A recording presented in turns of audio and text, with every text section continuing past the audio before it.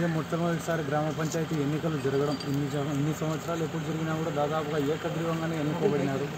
మొట్టమొదటిసారి ప్రజలు ఈరోజు స్వచ్ఛందంగా స్వేచ్ఛగా వచ్చి ఓటేసే పరిస్థితిని కల్పించిన పోలీస్ డిపార్ట్మెంట్ వారికి ప్రభుత్వానికి ముందుగా నా కృతజ్ఞతలు తెలుపుకుంటున్నాను. ఎందుకంటే ఎన్నో ఏళ్ళు భయం గుప్పెట్లో ఉండింది ఈ గ్రామం. అటువంటి ఈ కొత్త ముచ్చుమరి పాత ముచ్చుమరి గ్రామాలలో ఈరోజు దాదాపుగా యాభై ఐదు శాతం పైన పోలింగ్ నమోదైంది. మధ్యాహ్నం పన్నెండు గంటల సమయానికి ప్రజలు కూడా చాలా చైతన్యవంతులైనారు. ఒక మంచి నిర్ణయం తీసుకొని ఒక మంచి నాయకుడిని ఎన్నుకోవాలనే ఉద్దేశంతో ఈరోజు గ్రామ ప్రజలు కూడా ఉన్నారు.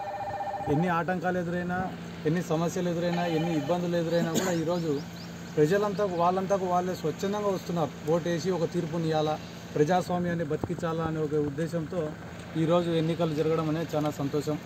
వైఎస్ఆర్ కాంగ్రెస్ పార్టీ అధికారంలోకి వచ్చిన తర్వాతనే ఈ స్వేచ్ఛ వచ్చిందని మేమందరం కూడా భావిస్తున్నాం. కాబట్టి ఇంక మీదట ఈ ఎన్నికల తర్వాత ఈ గ్రామంలో ఎవరు కూడా ఒక నాయకునికో ఒక కుటుంబానికో భయపడే పరిస్థితి లేకుండా స్వచ్ఛందంగా స్వేచ్ఛగా వాళ్ళ పని వాళ్ళు చేసుకుంటూ వాళ్ళ కుటుంబాలతో వాళ్ళు సంతోషంగా ఉంటారని చెప్పి నేను ఆశిస్తున్నాను. ఏకగ్రీవము అన్నటువంటిది గ్రామంలో అందరూ సమ్మతిస్తేనే కదా. అందరూ సమ్మతి ఇచ్చినప్పుడు మాకు ఏకగ్రీవంగా చేసుకుంటాము పలానా వాడిని. అతని ద్వారా మనకు గ్రామంలో సేవలు అందుతాయి అని చెప్పి అందరూ ఒప్పుకున్నప్పుడే ఏకగ్రీవాలు అయ్యేది. ఇక్కడ ఈ ఈ ఊర్లో ప్రత్యేకంగా అందరిని అందరూ కూర్చొని ఒక క్యాండిడేట్ను డిసైడ్ చేసుకునే వాళ్ళము. అందరి సమక్షంలో అందరి సమ్మతిన. అది సరే ఓకే. ప్రజాస్వామ్యం ఇది. పంచాయతీ మరి ఎన్నికలు ఈరోజు నామినేషన్స్ వేశారు. సర్పంచ్కు ఇద్దరు క్యాండిడేట్స్ ఉన్నారు. ఇంకా వార్డులలో కూడా ఇద్దరిద్దరు ఉన్నారు. కొత్త ముచ్చుమరిలో కూడా మరి అక్కడ కూడాను సర్పంచ్ క్యాండిడేట్స్ ఇద్దరు.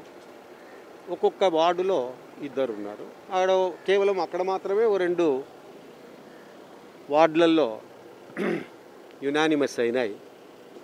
అది ఆ కారణాలు నేనైతే చెప్పదలుచుకోలేదు. ముఖ్యంగా నేనైతే ఓటు వేయనీకి వచ్చాను. అంతకు తప్పితే ఏం లేదు. నా ఓటు ఇక్కడ ఉంది. నా గ్రామం ఇది ముచ్చిమర్రి. ఇక్కడే పుట్టి పెరిగినటువంటి ఊరు. ఈ మండలము ఈ ఈ యొక్క ముచ్చుమరి గ్రామము చాలా చరిత్ర ఉన్నటువంటి గ్రామం. ఇదంతా నీటి ముంపుకు గురైపోయి ఒక స్క్రాచ్ నుంచి జీరో నుంచి ఈ గ్రామాలను డెవలప్ చేసుకుంటూ వచ్చాం. పొట్ట చేత పట్టుకొని మరి మేము కొత్త జీవితాలను స్టార్ట్ చేసుకొని ఎన్నో స్ట్రగుల్ చేసి ఈ గ్రామాలను నివాసయోగ్యంగా చేసుకున్నాం. ఈరోజు ఈ స్కూల్ హై స్కూల్లో బూతు ఈరోజు పోలింగ్ బూతులు పెట్టారు. బట్ ఇక్కడ హై స్కూల్ లేదు ఇంతకుముందు. మేము డెవలప్ చేశాం. స్కూల్స్ కానీ ప్రైమరీ స్కూల్స్ కానీ ఇవన్నీ కూడా. మొన్ననే మీరు చూడాలి మీరు ఊరికే ఇక్కడ మాత్రమే వాయిస్ కాదు ఇక్కడే కృష్ణ పుష్కరాలు రాయలసీమ పుష్కరాలు అని చెప్పి చాలా పెద్ద ఎత్తున మేము చేసుకోవడం జరిగింది. దాదాపుగా ఎనిమిది లక్షల మంది భోంచేశారు ఆ పుష్కరాల టైంలో. అంతా గ్రామస్తులం పెట్టుకొని చేసుకున్నాం అనమాట సర్పంచ్ అభ్యర్థులు అంటే మేము బలపరుస్తూ ఉన్నటువంటి అభ్యర్థులు తర్వాత వార్డు మెంబర్ల భర్తలు అందరినీ కూడా అది కేసు పెట్టి తీసుకెళ్ళారు.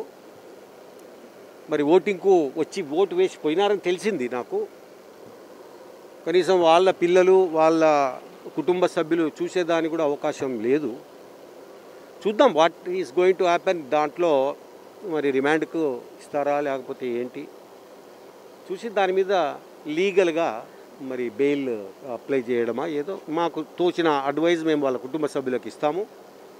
వాళ్ళైతే క్యాండిడేటు ప్రచారము దాదాపుగా అప్పటి నుంచి కూడా లేరు.